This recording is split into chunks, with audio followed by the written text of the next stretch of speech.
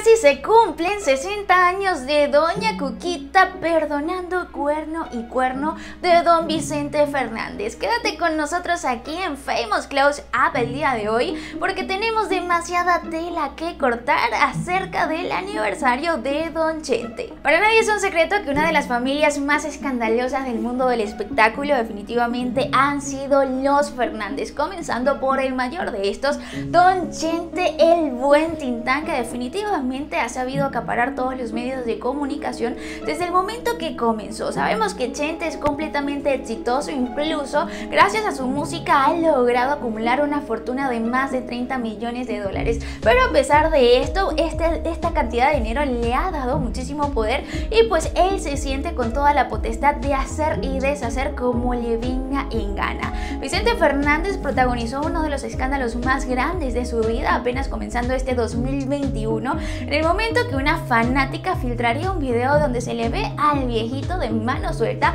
agarrándole un pecho en un momento que la fanática le pide pues esta fotografía en la hacienda Los Tres Potrillos.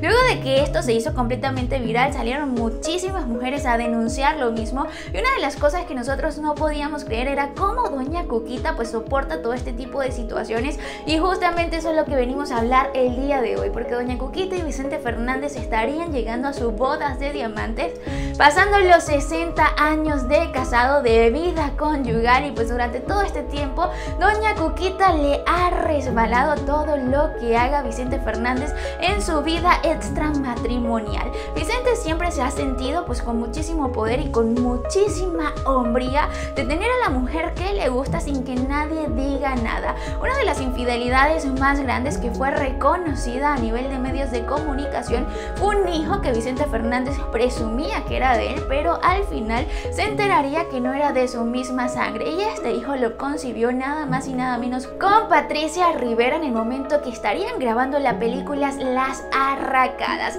Este amorío fue completamente grande y de hecho pues fue muy reconocido y también muy llamativo. En aquel momento doña Cuquita no quería decir absolutamente nada al respecto. Hace un año doña Cuquita lo único que dijo ante estos comentarios era que simplemente se enfocaba en su familia y en sus hijos y en sus nietos para no pensar en lo que decían la gente, pero era demasiado inevitable, pues siendo esposa de uno de los hombres más famosos del mundo, no saber lo que se decía. De hecho, en la época de los 70, uno de los amoríos más reconocidos también extramaritalmente de Vicente Fernández fue la vedette Merlet Uribe. Esto fue uno de los amores más grandes de Vicente, del intérprete de Mujeres Divinas. Para Vicente Fernández, pues con toda su fama, con toda esa influencia que él tenía en los medios de comunicación y sociales, pues era muy fácil como embaucar a las jovencitas, decirle tres palabritas bonitas en la oreja y pues comentarles que las podía hacer famosas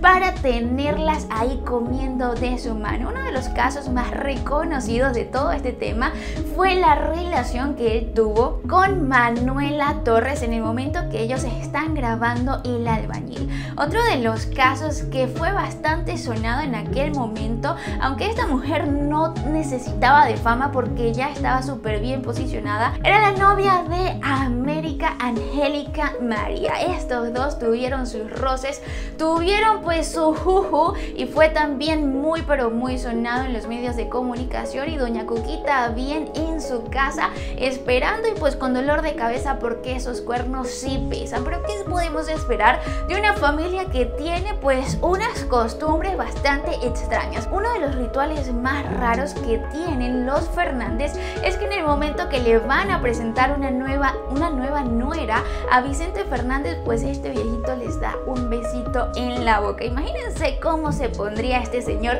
cuando conoció a la novia de Vicente Fernández Jr., la Kardashian mexicana. Por ahí hay varios memes rosnando. Yo los invito a buscarlos y a reírse un rato. La verdad es bastante divertido me encantaría saber qué opinan ustedes aquí abajo en los comentarios y nos vemos en la próxima de Famous Close Up.